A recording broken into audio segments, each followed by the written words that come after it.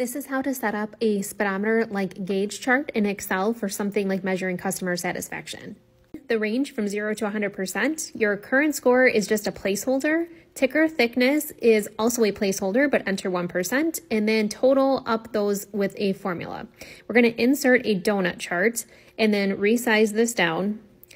You'll notice that the right half is actually what we want. So we need to rotate this by 270 degrees. So enter that and then change the donut hole down a bit to 55. Now we need to get rid of the border. So hit no line. And then we're going to close this out and we need to get rid of the title and the legend. They're not really needed here and it makes these appear larger. Now we want to get rid of the blue. So double click on the blue and we're going to do no fill here close out of this again. And now you've got your three sections. We want to right click on each and change the colors. You can do any colors, but we're going to do yellow, green, and red. So change that to yellow, right click, and then change this to red.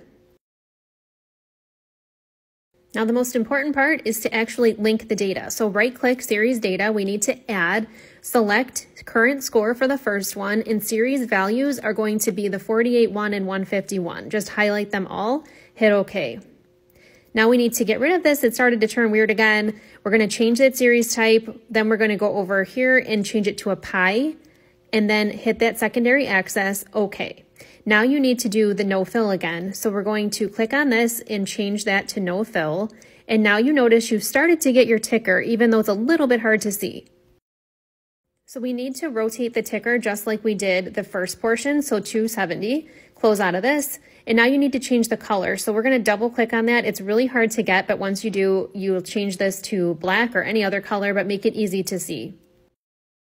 Close out of this. And then we're going to link this insert score to the current score. I actually had these backwards in the beginning, so we're going to switch that around. The reason is it makes it easier for people to just type in the box and now change your ticker thickness. You got it.